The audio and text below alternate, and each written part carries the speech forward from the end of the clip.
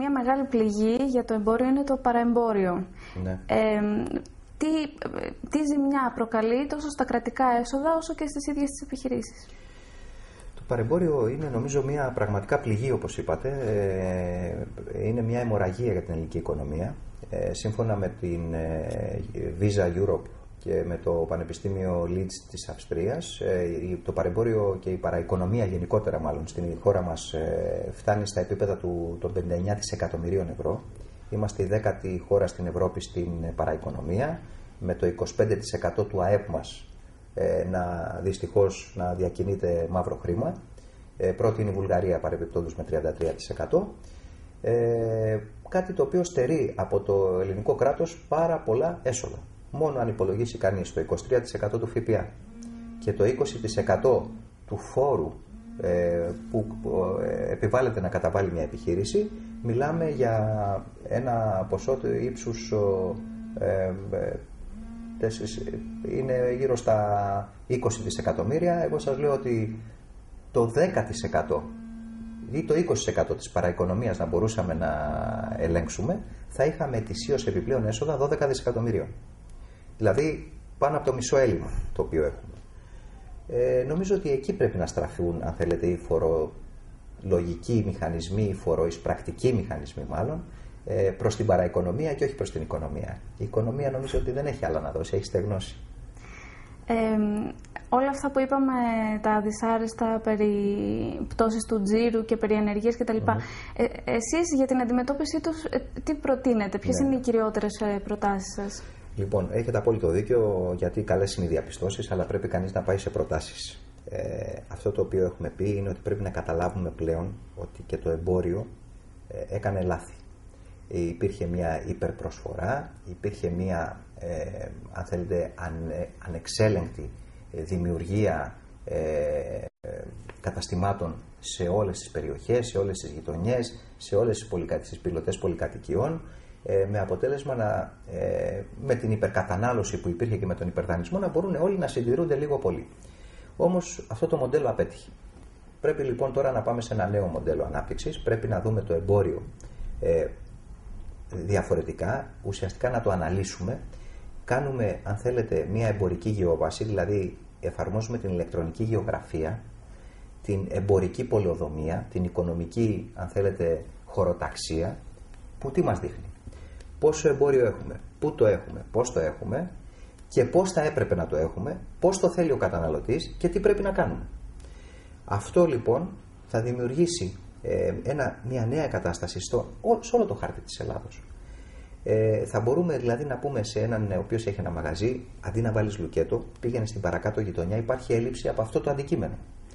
Και να μεταφερθεί λίγο πιο κάτω με κάποιο άλλο αντικείμενο ή ε, και στην περιοχή ακόμα που βρίσκεται να του πούμε ότι υπάρχει έλλειψη από αυτό. Άλλαξε το αντικείμενο της ε, ε, της δουλειάς σου. Πάλι στον εμπορικό κλάδο. Με αυτόν τον τρόπο τον βοηθάμε, δηλαδή κάνουμε εμείς μια, μια έρευνα αγοράς και τον βοηθάμε να μείνει στην αγορά, να διατηρηθεί. Το δεύτερο είναι να κάνει το εμπόριο ένα βήμα πίσω προς τον πρωτογενή τομέα. Να πλησιάσει δηλαδή τον, αυτόν που, ε, τον μικροβιοτέχνη, τον παράγωγο, αν θέλετε, αγροτικών προϊόντων και να του πει έλα, να κάτσουμε να συνεργαστούμε, να κάνουμε μια ελαφριά βιοτεχνία τυποποίησης. Εσύ παράγεις, εγώ πουλάω. Συνεργαζόμαστε, τυποποιούμε το προϊόν, του δίνουμε και ένα brand name και κάνουμε εξαγωγή. Το τρίτο είναι ακριβώς η εξαγωγή. Δηλαδή αυτό που έχουμε χάσει από την εσωτερική αγορά θα πρέπει να το ανακτήσουμε από άλλες αγορές. Έχουμε πρόσφορο έδαφος να δραστηριοποιηθούμε στις αγορές των Βαλκανίων. Νομίζω ότι αν υπάρξει συνεργασία πολλών επιχειρήσεων μαζί και δημιουργήσουμε συστάδες επιχειρήσεων, τα κλάστερ στα λεγόμενα, και πάνε 10, 15, 20 επιχειρήσεις στο κλάδο των, ε, της υπόδησης και ανοίξουν ένα σημείο πώλησης σε κάποια πόλη από τις ε, πρωτεύουσες ε, των Βαλκανικών χωρών.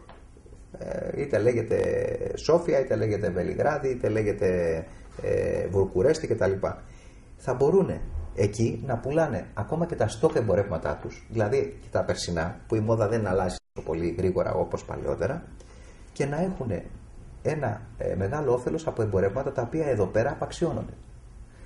Ε, υπάρχουν λοιπόν πάρα πολλά, ε, αν θέλετε, σχέδια τα οποία θέλουμε να προωθήσουμε, τα οποία κάποιοι τα έχουν εφαρμόσει. Εμείς όμως θέλουμε να είναι οι πάντες γνώστες αυτών των προτάσεων και να δουν αν μπορούν να τις εφαρμόσουν. Ε, ρόλος μας λοιπόν είναι να πληροφορήσουμε τον ε, έμπορο στο τελευταίο χωριό, αν θέλετε, της χώρας μας, ότι ξέρετε κάτι μπορεί να δραστηριοποιηθεί. Πριν λίγο καιρό ήμουν στα Γρεβενά. Υπήρχε ένα χρυσοχοείο, ε, το οποίο όσο, τι πωλήσεις μπορούσε να κάνει σε μια πόλη σαν τα Γρεβενά. Και όμως, κάποιο μέλος της οικογένειας σπούδασε στην Αγγλία, πληροφορική, και ήξερε πάρα πολύ καλά να δουλεύει μέσα στο διαδίκτυο. Έκανε λοιπόν ένα ε, e-shop, ένα electronic shop ένα, στο ίντερνετ και αυτό το χρυσοχοείο στα Γρεβενά σήμερα κάνει εξαγωγές πάνω από 2,5 εκατομμύρια σε μία μόνο χώρα της Ευρώπης στο παραδοσιακό ελληνικό κόσμο. Μιας και αναφερθήκατε στο διαδίκτυο, ναι. ε, θα θέλαμε ένα σχολείο σας για το Digi Retail. Ε, ναι. Είναι επαρκές, είναι αρκετά τα χρήματα για να δώσουν μια ικανοποιητική όθηση. Είναι, είναι μια βοήθεια. Ε, είναι ένα πρόγραμμα πολύ στοχευμένο, δηλαδή στοχεύει αποκλειστικά και μόνο στο λιανεμπόριο. Ε, λέει ότι θα πρέπει να έχεις ένα κάδ το οποίο, ένα κάδ, συγγνώμη, το οποίο θα είναι αποκλειστικά και μόνο για το λιανεμπόριο και ότι θα πρέπει ο τζίρος σου, αν έχεις και άλλη δραστηριότητα, ο μεγαλύτερος να γίνεται στο λιανεμπόριο. Νομίζω ότι βοηθάει. Είναι ένας κλάδος που ε, πλήγεται αυτή τη στιγμή, που ε, πραγματικά έχει ε, τι τις μεγαλύτερες απώλειες, οπότε θέλει και την περισσότερη βοήθεια. Πιστεύω ότι μπορεί να γίνει και μάλιστα ε, το μόνο το οποίο πιέζει είναι πάρα πολύ χρόνοι που αρχίζει και ολοκληρώνεται το πρόγραμμα, είναι νομίζω ε, σε μια περίοδο ενός μηνός και εκεί θα πρέπει να δοθεί μια μικρή παράταση, αν είναι δυνατόν, για να μπορούν να ενταχθούν για περισσότερες επιχειρήσεις. Υπάρχει ενδιαφέρον μέχρι στιγμής από τις επιχειρήσεις; Από ό,τι βλέπω υπάρχει και υπάρχει και ενημέρωση. Γίνονται κάθε εβδομάδα δύο-τρεις ε, ενημερώσεις τουλάχιστον σε μεγάλες πόλεις και σε εμπορικούς συλλόγους και νομίζω ότι καλό είναι να, όσοι μπορούν να συμμετάσχουν. Και θα ήθελα να μιλήσουμε και για το ΤΕΜΠΜΕ, ε, τώρα που ναι. οι τράπεζες έχουν κλείσει τη στρόφιγγα του δανεισμού ε, και σαφώς θα έχει επηρεαστεί και η βιωσιμότητα των επιχειρήσεων το γεγονός. Ε, κατά πόσο μπορεί να βοηθήσει το ΤΕΜΠΜΕ τις επιχειρήσεις ε, σε αυτό το τομέα; Κοιτάξτε, το ΤΕΜΠΜΕ έκανε ένα κύκλο, μάλλον τρεις κύκλους έκανε το ΤΕΜΠΜΕ. Ε, οι δύο πρώτοι θα μπορούσα να πω ότι βοήθησαν κάποιες επιχειρήσεις φαινομενικά. Ε, γύρω στις 60.000 επιχειρήσεις έχουν βοηθηθεί από το ΤΕΜΠΕ. Ε, όμως σήμερα βλέπουμε ότι κάποιες επιχειρήσεις ε, δυστυχώς δεν μπορούν να ανταποκριθούν στην αποπληρωμή των δόσεων. Ε, ο τρίτος κύκλος του ΤΕΜΠΕ ε, δυστυχώς δεν περπάτησε γιατί δεν το επέτρεψαν οι τράπεζες. Δηλαδή δεν βοηθήθηκε από τις τράπεζες. Δηλαδή, και ο τρίτος κύκλος είναι, αν θυμάστε, οι πληρωμές σε τρίτους, υποχρεώσεις σε τρίτους, και οι πληρωμές για φορολογικά και ασφαλιστικές, για φορολογικές και ασφαλιστικές εκκρεμότητες. Ε, πήγαινε κανείς στην τράπεζα, ο οποίος χρώσταγε σε ένα ασφαλιστικό ταμείο και του έλεγε Θέλω ασφαλιστική ενημερότητα ή φορολογική ενημερότητα αντίστοιχα. Δεν μπορούσε να τη φέρει, δεν μπορούσε να πάρει και το τέμπε. Οπότε δεν λειτουργήσε και μόνο 193 επιχειρήσεις εμπορικές μπήκαν στον τρίτο κύκλο του τέμπε για να καταλάβετε δηλαδή το 60.000 με το 193 τη διαφορά. Εν πάση περιπτώσει, Τώρα έχουμε να αντιμετωπίσουμε το εξής πρόβλημα. Οι επιχειρήσεις του πρώτου και δεύτερου κύκλου δεν μπορούν να πληρώσουν τις δόσεις. Ο πρώτος κύκλος μάλιστα ήταν και άτοκα. Ήταν, αν θυμάστε, ε, η αποπληρωμή σε τρία χρόνια με εξάμεινε δόσεις, mm. άτοκες. Και παρόλα αυτά δεν μπορούν να τις πληρώσουν. Πρέπει να δοθεί μια λύση. Είναι, το ΕΤΕΑΝ είναι ε, κάτι καινούριο, δεν είναι βέβαια τράπεζα, αλλά δεν είναι και απλό ταμείο. Mm-hmm. Είναι, αν θέλετε, ένας χρηματοδοτικός φορέας ο οποίος μέσα στα επόμενα δύο χρόνια θα μπορέσει να βοηθήσει 25.000 επιχειρήσεις με 2,5 δισεκατομμύρια ευρώ. Ε, είναι κάτι θετικό, είναι κάτι το οποίο μακάρι να μπορούσε να λειτουργήσει από χτες. Το έχει ανάγκη η αγορά. Ε, Όμως ταυτόχρονα θα πρέπει να βρούμε μια λύση πώς θα αποπληρώσουν και οι προηγούμενες επιχειρήσεις στο ΤΕΜΠΜΕ. Ίσως μέσω του ΕΤΕΑΝ, δηλαδή αν μεταφέρουν, αν αυξηθεί, γιατί το ΤΕΜΠΜΕ εγγυάτο το 80% του κεφαλαίου Εάν η εγγύηση αυξηθεί στο 90%, θα μπορεί η τριετία να γίνει, αν θέλετε, πενταετία ή να αυξηθεί και στην εφταετία, οκταετία. Εάν λοιπόν γίνει αυτό το αίτημα μας αποδεκτό, νομίζω ότι θα έχουμε λύσει ένα σοβαρό πρόβλημα και για τις παλιές επιχειρήσεις και θα δώσει και το κίνητρο σε άλλες επιχειρήσεις να μπουν στο ΕΤΕΑΜ. Μάλιστα.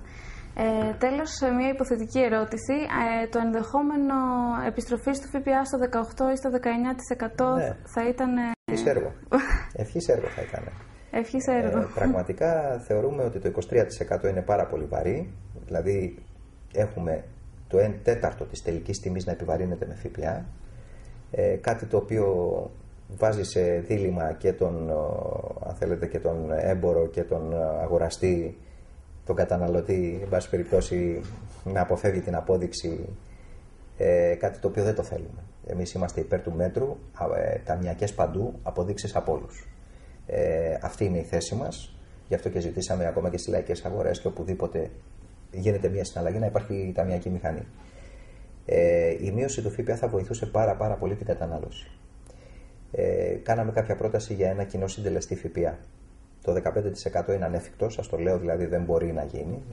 Όπως είπατε και εσείς, το 17 με 18 μπορεί να γίνει. Όσο περνάει ο χρόνος, αυτό το, αυτό το ποσοστό θα πρέπει να ανεβαίνει και να έχουμε και έναν χαμηλότερο συντελεστή, στο 6,5 ας πάει στο 7,5 αν θέλετε, αλλά εκεί να συμπεριλαμβάνονται πολύ σωστά τα φάρμακα. Άλλωστε, τα φάρμακα είναι μια δαπάνη πιο πολύ του δημοσίου. Να συμπεριλαμβάνεται όλος, όλο το φάσμα του, των τουριστικών υπηρεσιών και όχι μόνο το κατάλημα. Δεν είναι τουρισμός μόνο το κρεβάτι που κοιμάται ο τουρίστας το βράδυ. Είναι και το, ε, αν θέλετε, και το κατάστημα που δουλεύει, είναι και το εστιατόριο, είναι και η καφετέρια. Γι' αυτό λοιπόν ε, καλό θα ήταν να επεκταθεί ε, αυτός ο χαμηλός συντελεστής ΦΠΑ ε, και σε αυτούς τους ο, τρεις τομείς. Δηλαδή φάρμακα, τουρισμό και αν θέλετε και σε 10 βασικά αγαθά, 10 βασικά τρόφιμα, το γάλα, το, το γιαούρτι, τα, το αλεύρι, τα ζυμαρικά, εν πάση περιπτώσει, το ψωμί, για να μπορεί να υπάρχει και μια ισομερής ε, κατανομή αυτού του δημοσιονομικού χρέους. Εμείς λοιπόν ζητάμε δύο κατηγορίες ΦΠΑ με ισόποση, ισοδύναμη αν θέλετε, ανταπόδοση δημοσιονομική. Το, σε τι ποσοστά μπορούν να κοιμανθούν αυτές οι δύο κατηγορίες, αυτό μόνο το Υπουργείο Οικονομικών μπορεί να μας το, να μας το πει. Καλώς. Κύριε Κορκίδη, σας ευχαριστούμε πάρα πολύ που ήσασταν μαζί μας. Να είστε καλά και εύχομαι να πάνε όλα καλά για όλους μας. Και εγώ το εύχομαι. Να είστε καλά.